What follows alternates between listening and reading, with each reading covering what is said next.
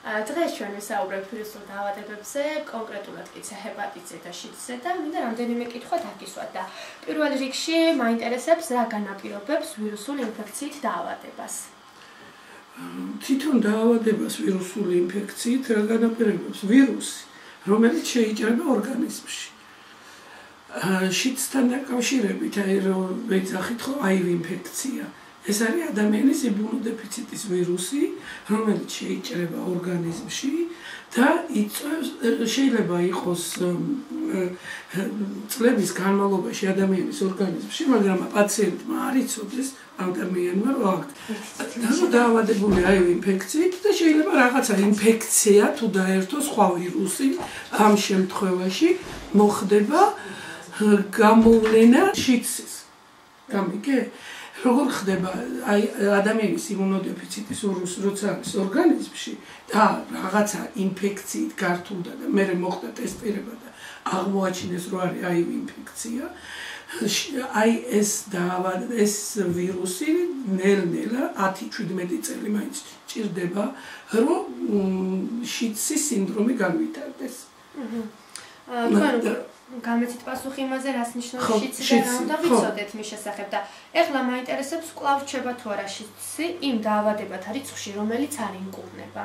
კი, კლავ რჩება, მაგრამ თუ დაუშვათ თავის დროზე გამოვლინდა, ხდება იმუნური სისტემის გაძლიერება, არის ისეთი პრეპარატები, რომ ადამიანს გაუგზავდეს სიცოცხლე, რა სიცოცხლის ხანგრძლივობა გაგრძელდეს. მაგრამ თუ შიცის სინდრომი ჩამოყალიბდა და მერესე დაერთო რაიმე ინფექცია, იმდენად დაბალია იმუნიტეტი, რომ პაციენტი იგუბება. რამდენად ხელმისაწვდომია შიცის ლაბორატორიული დიაგნოსტიკა ჩვენი თანამემამულეების? ჩვენთან ტარდება საქართველოში. აი პაციენტი დაუშვათ მოვიდა ოჯახის ექიმთან სქესობრივად გადამდები რომელიმე დაავადების გამო. ხო, აი მოვიდა და ქეუბნება რომ აქ რაღაც გამონადენი ან სუნიანი ან გამონაყარი რაღაცა. აი ამ შემთხვევაში მარტო იმ დაავადებაზე რაზეც შენი გეპარება ეჭვი არ უნდა გამოიკვლიო აუცილებლად უნდა გამოიკვლიო აი ინფექციას.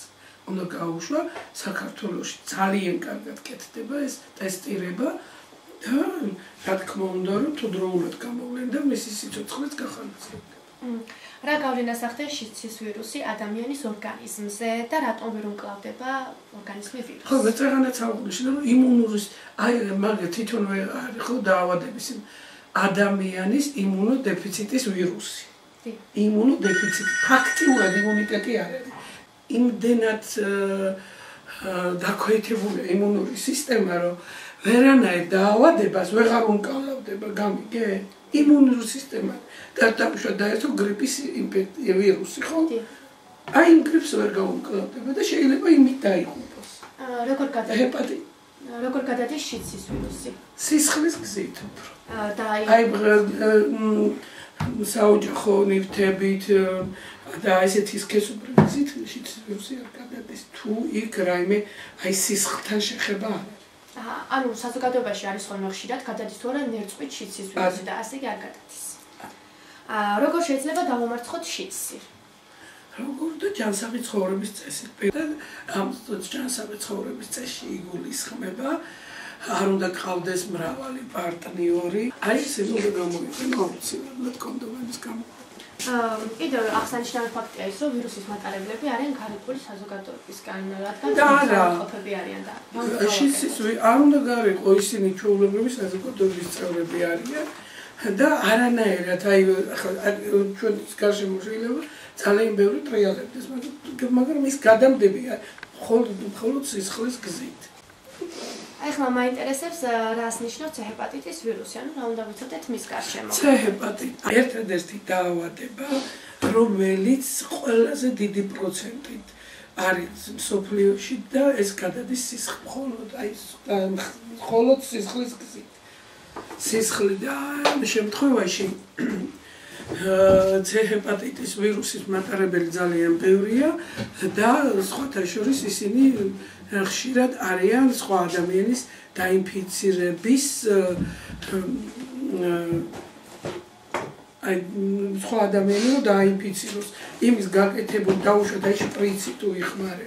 ჯაგრისი ჯაგრისი თუ მოხდეთ შენს ჯაგრისთან აი ამითაც შეიძლება გადავიდეს წელი ანუ საყოფაცხოვრებო კონტაქტი ჰეპატიტი გადადის. და კონკრეტულად ვის ემუქრება ჰეპატიტი უფრო ნარკომანებს ალკოჰოლისტებს. და როგორ მოიწევს როცა ოჯახში ან საზოგადოებაში არის ავადმყოფი ჰეპატიტით დაავადებული მე ჰეპატიტით დაავადებული ვარ იმას რომ მეკონის იზოლირებული იმის ნახმარ დაუშვათ ჯაგრის რასაც იყენებს ცალკე უნდა იყოს და შპრიცი ან ხელი თუ გაეჭრა და სისხლი და რაღაც შეხება არ უნდა იყოს რა მეორესთან კონტაქტში აა უნდა გამოიყენო ის შპრიცები განმეორებით თანაც. აუცილებლად როდესაც ჰეპატიტი ყოველთვის უნდა იყიდოს აი შპრიცი აფთიებში და არა რაღაცა გარე იმაში შეიძლება ის განმეორებით ზოგჯერ ხდება რომ შეფუთვა და ყიდია მე შეიძლება ის იმ ნარკომან იმ ჰეპატიტიანის ნახმარი იყოს და მე შენ გამოიყენო ინფექციებიდან რა ხრის შემდეგ ვლინდება ჰეპატიტის პირველი სიმპტომები და შეიძლება სულ სიმპტომოთ მედიოდეს წლების განმავლობაში. აი წლები იყოს და სიმპტომი არანაირი არ ქონდეს. და გამოიკულიოს და ნახოს რომ არის დაავადებული ცეჰეპატიტი. აა და ინფექციონალობენ ცეჰეპატიტს არ კონკრეტულია ეს ხო? არ არის გამოიყენებული. არ არის, მაგრამ არის ჰეპატოპროტექტორების ისეთი რაოდენობა, რომ უხანგრძლივდება სიცოცხლე და შეიძლება რომ დიდხანს სიცოცხლე. და აი, ეხლა მინდა რომ პრაქტიკული რეკომენდაციები მივცეთ საზოგადოებას, როგორ დაიცვან ჰეპატიტისგან თავი და შიცის ვირუსი. აი, გოსთქვით რა, აღნიშნეთ რომ დასაწყისის წესი ცეშიცის ვირუსისგან რომ აუცილებლად არ უნდა ყავდეს მრავალი პარტნიორი, არ უნდა უნდა სქესობრივი აქტის დროს უნდა კონდომები გამოიყენო და იმ C ჰეპატიტისკენ კიდე არ უნდა მოხდეს მისი საყოფაცხოვრებო ნივთების მოხმარება და ამავე დროს შპრიცი, რომელიც სისხლის მისი ნახმარი შპრიცი შეიძლება უნდა გაიგეთონ და უგმეს მადლობა ესეთ ამოწურავ ინფორმაციისთვის. ნაკონს